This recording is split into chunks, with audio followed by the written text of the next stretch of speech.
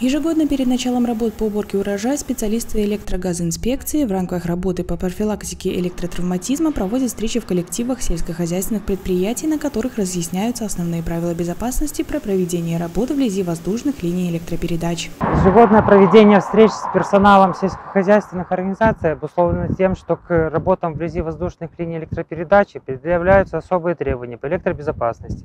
Напоминаем, что в границах охранных зон воздушных линий электропередач не допускается допускается совершать остановки и стоянки всех видов транспортных средств, осуществлять передвижение, работу сельскохозяйственных, дорожных, строительных и других машин и механизмов с поднятыми стрелами, кузовами, проводить работы с применением сельскохозяйственных машин, механизмов и выступающих частей оборудования высотой более 4 метров, влекущих приближение на недопустимое расстояние к проводам воздушных линий. Движение машин и механизмов при работах на участках, расположенных в охранных зонах воздушных линий электропередач, рекомендуется осуществлять поперек оси воздушных линий. Проезд по проселочным дорогам и вне дорог следует проводить вблизи опор и поперек оси воздушных линий. Также необходимо помнить, что приближаться к оборванным проводам линии электропередачи на расстоянии менее 8 метров смертельно опасно.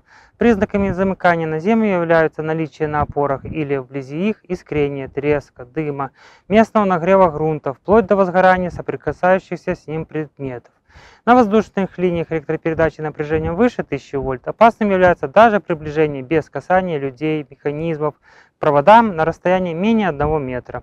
При необходимости покинуть оказавшийся под напряжением автомобиль или механизм, необходимо спрыгнуть с него на землю на две ноги, одновременно не касаясь корпуса, и удалиться на расстояние не менее 8 метров, маленькими шажками, не отрывая ступни и ног от поверхности земли. Недопустимо касаться корпуса автомобиля, механизма стоя на земле. При обнаружении оборванных проводов или иных аварийных ситуаций, связанных с электроустановками, сообщите об этом в электрические сети по единому номеру телефона 144. Не лишним будет напомнить любителям рыбной ловли о правилах электробезопасности. Вблизи многих водоемах, пригодных для рыбалки, часто проходят воздушные линии электропередачи. Часто рыбаки используют снасти, достигающие 6 и более метров в длину, которые прекрасно проводят электроэнергию. Этой длины достаточно, чтобы во время забрасывания удочки приблизиться к проводам линии электропередачи и попасть под напряжение движения. В местах пересечения воздушных линий электропередачи с озерами и реками, а также расположение воздушных линий электропередач вдоль береговых линий водоемов, эксплуатирующие организации вывешиваются знаки «Ловить рыбу опасно для жизни», охранная зона 10 метров. Но не всегда размещение плакатов может уберечь людей от опрометчивых поступков. Ежегодно происходят несчастные случаи от поражения людей электрическим током при осуществлении рыбной ловли. Особенно трагично, когда в результате несчастных случаев страдают дети. Так, в Ляховском районе подросток вместе с дедушкой ловил рыбу на мелиоративном канале, который пересекает воздушная линия электропередачи 10 кВт. Во время рыбной ловли подросток приблизил удилище на недопустимое расстояние к проводам воздушной линии, попал под напряжение и погиб.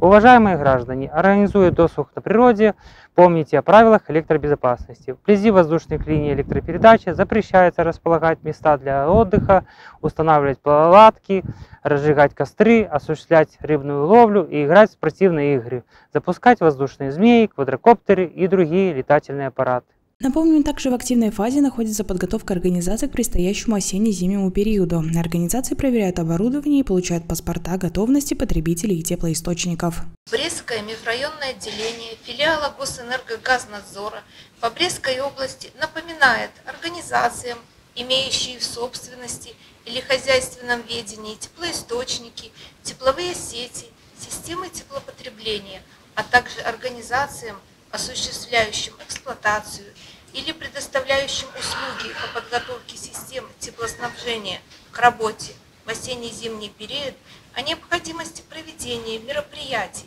по подготовке к работе в осенне-зимний период 2024-2025 года и получения паспортов готовности теплоисточников и потребителей тепловой энергии в сроки, установленные местными исполнительными и распорядительными органами.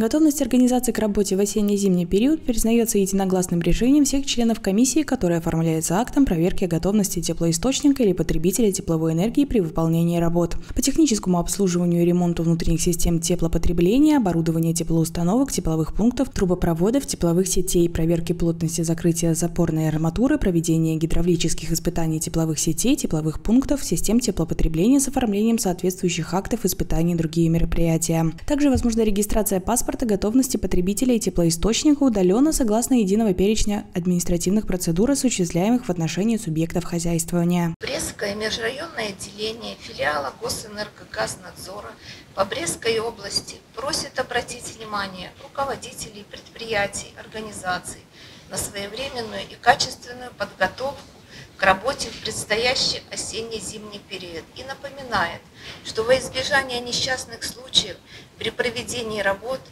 следует помнить о строгом соблюдении правил техники безопасности при эксплуатации теплоустановок и тепловых сетей, проявлять личную осторожность и благоразумие.